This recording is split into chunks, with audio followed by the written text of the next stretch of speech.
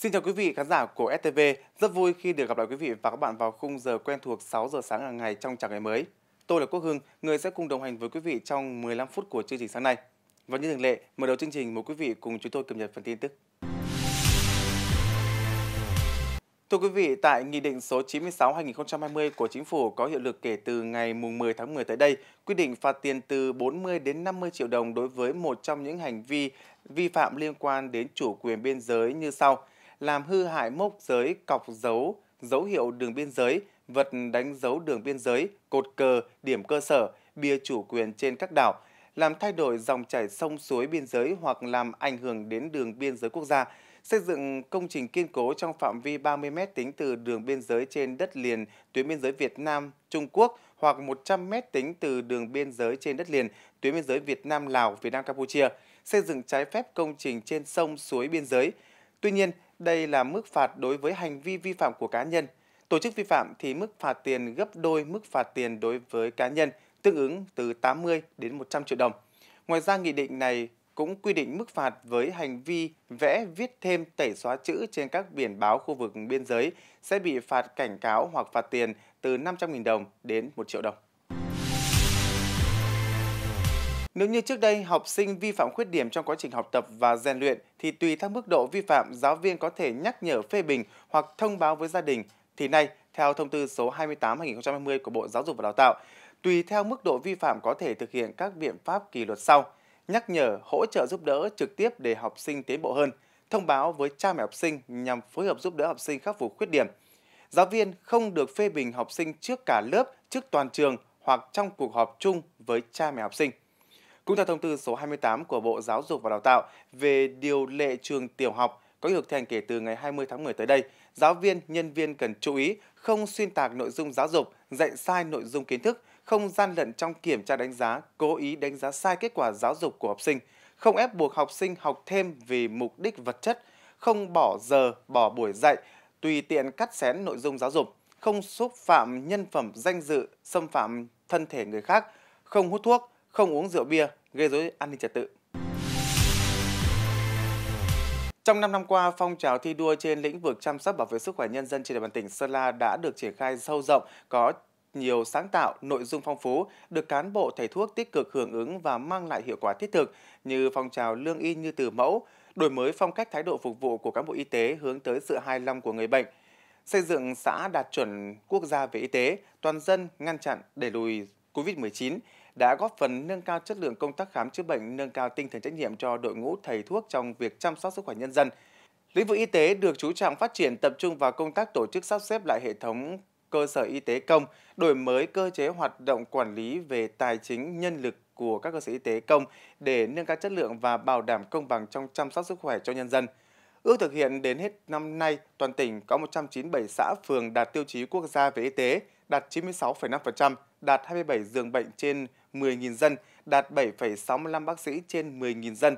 Cùng với đó, đẩy nhanh tiến độ thực hiện bảo hiểm y tế toàn dân, bảo đảm quyền lợi của người tham gia bảo hiểm y tế. Tỷ lệ người dân có thẻ bảo hiểm y tế ước đạt 95,7%. Các cơ sở y tế triển khai được nhiều dịch vụ y tế chất lượng cao, giảm tải chuyển tuyến, tạo điều kiện thuận lợi cho người dân trong khám chữa bệnh. Thời gian qua, huyện Thuận Châu đã tranh thủ các nguồn lực tập trung đầu tư xây dựng kết cấu hạ tầng gắn với xây dựng nông thôn mới. Nhiều công trình hoàn thành đưa vào sử dụng đã phát huy hiệu quả, góp phần thay đổi diện mạo của các xã nông thôn mới. Trong giai đoạn 2016-2020, huyện Thuận Châu đã lồng ghép bố trí trên 600 tỷ đồng từ các nguồn vốn ngân sách và đóng góp của tổ chức cá nhân cũng như nhân dân để thực hiện chương trình xây dựng nông thôn mới. Từ nguồn vốn này đã xây dựng được 328 công trình đường giao thông, điện, nước sinh hoạt, nhà văn hóa xã, trường lớp học, trạm y tế. Ngoài ra, huyện cũng tập trung xây dựng và phát triển 6 chuỗi liên kết sản xuất sản phẩm như xoài, cam, thanh long ruột đỏ tại 19 xã với tổng diện tích là 802 hecta. Từ nay đến cuối năm, huyện Tuần Châu tiếp tục duy trì hai xã đạt chuẩn nông thôn mới, phân đấu có 12 xã đạt từ 10 đến 15 tiêu chí, 14 xã đạt từ 6 đến 9 tiêu chí, không còn xã đạt dưới 6 tiêu chí. Giai đoạn 2021-2025, huyện Thuận Châu phấn đấu có thêm 3 xã đạt chuẩn nông thôn mới. Những năm gần đây, nông nghiệp Mai Sơn đã có những bước phát triển mạnh mẽ dần hình thành các khu vực sản xuất nông nghiệp chất lượng hiệu quả, kinh tế và giá trị thu nhập cao. Ước tính đến hết năm nay toàn huyện có trên 10.200 hecta kén quả, trên tổng 45.332 hecta đất nông nghiệp, chiếm 22,5%, tăng 8.462 hecta so với năm 2015. Đến thời điểm này, Mai Sơn có 17 doanh nghiệp, 106 hợp tác xã hoạt động trong lĩnh vực nông nghiệp. Các doanh nghiệp hợp tác xã đã phát huy tốt vai trò là cầu nối trong việc chuyển giao tiến bộ khoa học kỹ thuật vào sản xuất, hình thành các chuỗi liên kết trong tiêu thụ sản phẩm nông nghiệp. Năm năm qua, huyện Mai Sơn đã tập trung tuyên truyền và lồng ghép các nguồn vốn với trên 8,6 tỷ đồng, hỗ trợ thành lập mới 15 hợp tác xã, xây dựng 3 vườn ươm cây ăn quả, hỗ trợ ghép cải tạo vườn tạp, xây dựng các mô hình sản xuất an toàn theo tiêu chuẩn Việt Gáp và sản xuất chế biến tiêu thụ nông sản theo chuỗi, tổ chức các lớp tập huấn hỗ trợ bao bì tem nhãn truy xuất nguồn gốc. Việc phát triển các doanh nghiệp hợp tác xã hoạt động trong lĩnh vực nông nghiệp sản xuất kinh doanh có hiệu quả đã tác động tích cực đến đời sống sản xuất của nhân dân trên địa bàn, có phần nâng cao giá trị sản xuất, nhiều diện tích cho thu nhập trên 200 triệu đồng một hecta, đời sống nhân dân có nhiều khởi sắc, thu nhập bình quân đầu người năm 2020 ước đạt 40 triệu đồng một người, tăng 167% so với năm 2015. Trong những năm qua, các cấp các ngành các địa phương trong tỉnh đã tăng cường công tác nắm tình hình người nghiện trên địa bàn, thường xuyên ra soát, kiện toàn, củng cố và nâng cao hiệu quả hoạt động của tổ công tác cai nghiện ma túy của các xã và các điểm tư vấn chăm sóc hỗ trợ điều trị nghiện ma túy tại cộng đồng, tích cực triển khai các hoạt động nâng cao hiệu quả công tác điều trị cai nghiện ma túy tại gia đình cộng đồng. Giai đoạn 2016-2020, các xã phường thị trấn trên địa bàn tỉnh đã lập hồ sơ quyết định thực hiện quản lý giáo dục cai nghiện tại nhà cộng đồng đối với gần 4.000 người nghiện ma túy. Công tác quản lý người nghiện cai nghiện ma túy tại gia đình và tại cộng đồng được thực hiện có hiệu quả đã góp phần giảm tải cho các cơ sở điều trị nghiện ma túy, tạo điều kiện cho người nghiện ma túy trong quá trình cai nghiện được tham gia công việc hàng ngày, tranh thủ được sự động viên chia sẻ của gia đình và cộng đồng. Qua đó, giúp người nghiện thực hiện tốt việc cai nghiện ma túy, phục hồi sức khỏe, hành vi, nhân cách, khả năng học tập, lao động, nâng cao năng lực tái hòa nhập cộng đồng và phòng chống tái nghiện. Quý vị và các bạn vừa theo dõi phần tin tức của chương trình sáng nay. Tiếp tục với chương trình, mời quý vị đến với câu chuyện ngày mới.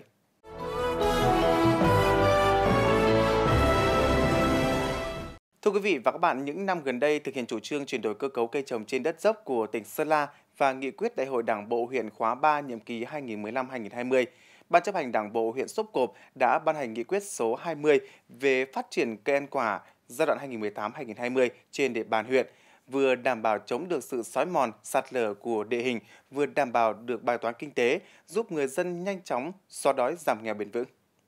Chủ trương thực hiện việc chuyển đổi cơ cấu cây trồng trên đất dốc sang trồng cây quả đến năm 2020 của huyện với quan điểm ưu tiên phát triển cây quả có chất lượng, giá trị kinh tế và gắn kết với thị trường, chú trọng các loại cây trồng đặc sản và chủ lực của huyện. Chuyển đổi các diện tích trồng cây lương thực kém hiệu quả, kinh tế thấp sang trồng cây quả, góp phần giải quyết việc làm, tăng thu nhập cho nhân dân. Nhờ sự à, quan tâm và hướng dẫn của cán bộ khuyến nông thì gia đình chúng tôi thì quyết định à, trồng cây ăn quả gồm có cây xoài, cây cam và cây quýt. Sau 3 năm triển khai thực hiện nghị quyết, huyện Sốp Cộp đã tập trung đưa các giống mới có chất lượng, hiệu quả kinh tế cao vào sản xuất như giống xoài Đài Loan, xoài Úc, xoài Thái Lan, nhãn ghép, sơn tra, các loại cây có múi như cam V1, V2, bưởi, cam đường canh và đặc biệt là phát triển nhân rộng giống cam địa phương đã đem hiệu quả cao. Trước thì cũng à, trồng ngô trồng sắn nhưng mà bây giờ thì lá bếp nó không à, có hiệu quả kinh tế rồi thì chuyển sang các loại cây ăn quả như xoài muỗng, à, các loại cây ngán này, cam quýt này và cho thật nhiều vào. Trước thì, thì không thu không có cái gì thu hoạch nhưng mà bây giờ thì thu hoạch mới được ít tiền thêm vào gia đình. Với việc chuyển đổi cây trồng trên đất dốc kém hiệu quả sang trồng kiên quả đã mở ra hướng đi mới cho phát triển nông nghiệp bền vững trên địa bàn huyện. Nhờ trồng kiên quả, tỷ lệ hộ nghèo, cận nghèo từ hơn 42,06% năm 2017 đã giảm xuống 29,77% năm 2019. Thực hiện tốt các chủ trương, nghị quyết của tỉnh, của huyện về phát triển cây ăn quả và tuyên truyền hướng dẫn nhân dân chuyển dịch cơ cấu ờ, kinh tế cây trồng quả sang cây trồng quả kinh tế cao. Huyện sẽ huy động và thực hiện có hiệu quả các nguồn vốn, đồng thời lồng ghép các nguồn vốn thực hiện các chương trình mục tiêu quốc gia như là vốn chương trình 30A, vốn chương trình 135, vốn nông thôn mới và nguồn vốn từ các nghị quyết của Hội đồng dân tỉnh. việc mở rộng diện tích trồng cây quả gắn với liên kết tiêu thụ sản phẩm đã khẳng định đây là chủ trương phù hợp để giúp người dân huyện Sóc Cộp vươn lên thoát nghèo bền vững. Khép lại nội dung câu chuyện ngày mới tại đây, mời quý vị cùng tiếp tục chương trình với góc cuộc sống.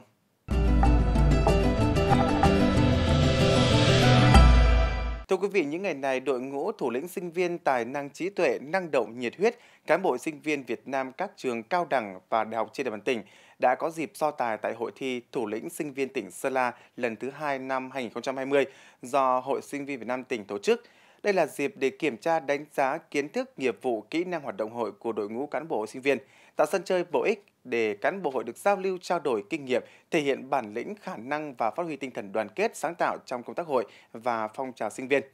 Và sau đây sẽ là ghi nhận của phóng viên chào ngày mới về hội thi này. Với hình thức thi trắc nghiệm trực tuyến xoay quanh nội dung kiến thức chung về đoàn thanh niên, Hội sinh viên Việt Nam, truyền thống sinh viên, kiến thức văn hóa xã hội, 15 thí sinh xuất sắc nhất được lựa chọn từ 607 cán bộ đoàn của ba hội sinh viên các trường, Đại học Tây Bắc, Cao đẳng Sơn La và Cao đẳng Y tế Sơn La đã tranh tài ở đêm chung kết hội thi thủ lĩnh sinh viên tỉnh Sơn La lần thứ hai năm 2020 diễn ra tại trường Đại học Tây Bắc. Ở nội dung thủ lĩnh trí tuệ, với sự chuẩn bị kỹ lưỡng về kiến thức, các thí sinh đều vượt qua phần thi này với số điểm khá cao. Khi nhận được à, thông báo là sẽ tổ chức hội thi thủ lĩnh sinh viên tỉnh Sơn La lần thứ hai thì à, hội sinh viên à, trường đại học Tây Bắc cảm thấy vô cùng vui mừng và chúng em đã nhanh chóng phân công nhiệm vụ cho nhau để bắt đầu tiến hành luyện. Và phong trào sinh viên Việt Nam thầy cô trong đoàn trường đã lên ý tưởng và chỉ đạo chúng em và em muốn chúng em muốn truyền đạt thông tin này đến tất cả các bạn và người dân Việt Nam là cùng nhau chung tay đẩy lùi Covid ạ. Thủ lĩnh tài năng là phần thi được khán giả mong chờ nhất với phần thể hiện năng khiếu ca múa nhạc và truyền thông theo chủ đề ca ngợi Đảng, Bác Hồ, tuổi trẻ và sinh viên Việt Nam thời đại mới. Thủ lĩnh sinh viên của ba trường đã có những màn biểu diễn văn nghệ pha trộn với những tình huống liên quan đến nhiều vấn đề nóng hiện nay, đặc biệt là đại dịch Covid-19. Phần thi tầm nhìn thủ lĩnh, các đội thi đã tự tin trình bày kế hoạch ý tưởng truyền thông bằng những lập luận logic, hình ảnh minh họa phong phú, nội dung sát với hoạt động và phong trào hội. Bọn em đã có một thời gian rất dài để chuẩn bị cho hội thi thủ lĩnh sinh viên tỉnh Sơn La lần thứ hai năm 2020, à, ôn tập kiến thức để chuẩn bị cho phần thi kiến thức, tập luyện phần thi tài năng cũng như là uh, chuẩn bị cho phần thi tầm nhìn thủ lĩnh.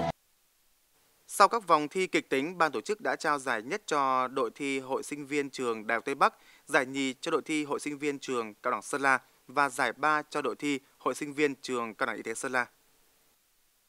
Qua cái chương trình tổ chức hội thi này thì chúng tôi cũng thấy rằng là à, các em sinh viên thì cũng đã thể hiện rất tốt và cũng thể hiện được cái cái ờ, kiến thức của mình trên các lĩnh vực kinh tế xã hội chính trị đặc biệt là những cái lĩnh vực lịch sử của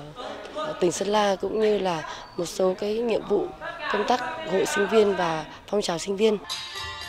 Hội thi thủ lĩnh sinh viên tỉnh Sơn La lần thứ hai năm 2020 là sân chơi để các cán bộ hội được giao lưu, chia sẻ kinh nghiệm công tác hội.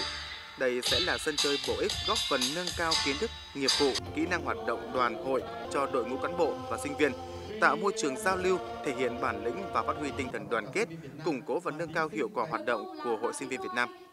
Tới đây chương trình chào ngày mới sáng nay cũng xin được khép lại tại đây. Cảm ơn quý vị và các bạn đã dành thời gian theo dõi. Xin kính chào tạm biệt.